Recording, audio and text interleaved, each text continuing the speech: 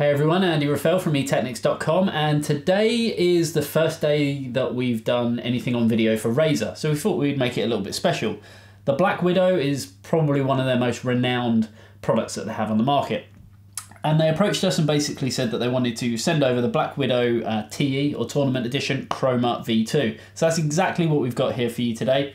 As you can see, very, very small keyboard, but don't let that put you off you're going to find that this is going to be extremely great for um, competitive gaming, general kind of day to day stuff. And to be honest, it looks absolutely great. So let's jump straight in and have a look at the Razer Black Widow TE Chroma V2. Razer are back once again with their latest iteration of one of their most popular keyboards, the Black Widow Chroma V2 Tournament Edition. It comes equipped with all the high-end features we've come to expect from Razer, or any flagship gaming keyboard for that matter.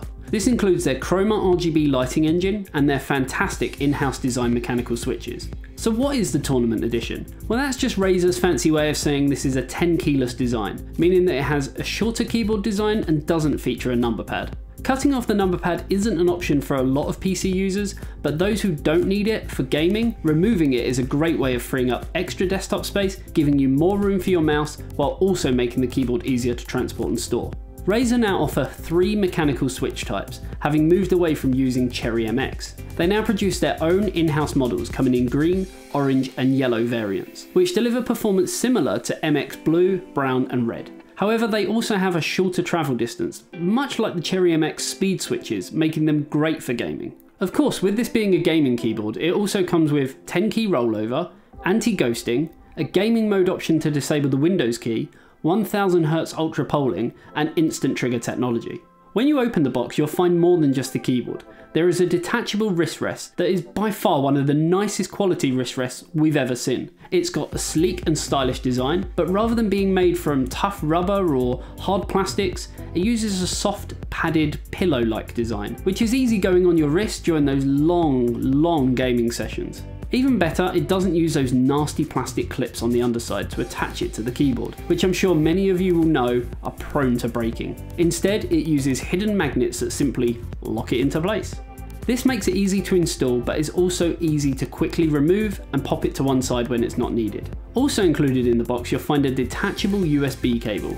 It comes with a thick black cable braiding, which not only looks great but also gives it added strength. Of course, since it is detachable and just uses a standard mini USB connector, you can easily replace it with your own custom cable, which is handy if you ever lose or damage the original.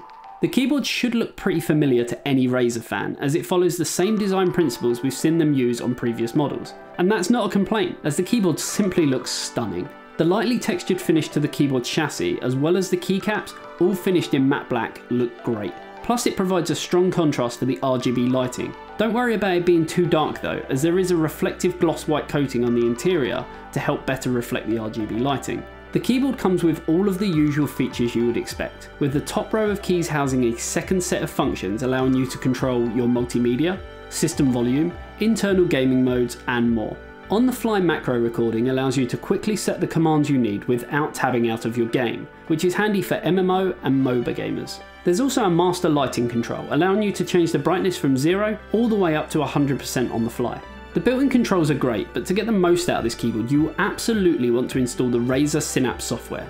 From here you'll be able to customise the Chroma RGB lighting engine on a per key basis, which means you can create some stunning effects to suit your individual tastes. You have millions of colours to choose from, as well as a wide range of built-in pre-programmed effects. The only limit here really is your imagination. You'll also be able to program much more complex macros, and since every key on the keyboard can be fully customised and configured to multiple profiles, you can easily set up the keyboard exactly how you need it on a per game basis. Most users won't need this level of customization, but of course it's better to have it and not need it than to need it and not have it. The type of response on the keyboard feels great, and from working in the office typing those long emails to competing in esports tournaments, it's certainly got something to offer for everyone. With three switch types, you'll find something that is best suited to you, as when gaming, it is obviously a bit subjective. Our editor Peter, he prefers the Razer yellow switches with the linear and silent design, while I prefer a more tactile feel of the orange or green switch. Priced at around £140 here in the UK, the keyboard is obviously not cheap, but it is comparable to any other flagship gaming keyboard in terms of features and price. And you could look at brands such as Corsair, Roccat, Logitech, to name a few. This is certainly up there with them. It's clearly not lacking in features and the build quality is top notch, so we think it's well worth the money overall. Given the added value from having one of the best RGB lighting engines on the market, a feature packed software suite for added customization, and that truly amazing wrist rest, it's easily one of my favourite gaming keyboards on the market today. So guys, hopefully you enjoyed that video and it gave you a bit more of an insight into the TE Chroma V2, uh, exactly what it can do, who it's for and so forth. And uh, hopefully, like always, you just enjoyed the video in general. And now for the good stuff. If you want to win this exact keyboard that's sitting right next to me, uh, we're going to package it all away, clean it all up, put it back in that box, and it will be shipping to one of you lucky viewers uh, right here. So essentially what you've got to do is have a look in the uh, description below and you will find exactly how you can enter the competition to win the Black Widow TE Chroma V2. And uh, that's pretty much it really. So good luck to everyone. And until next time, if you haven't already, remember to subscribe to our videos to get great video content like this directly to your inbox. Remember to give us a thumbs up and a comment, and we will see you in the next video. Until next time, see you later.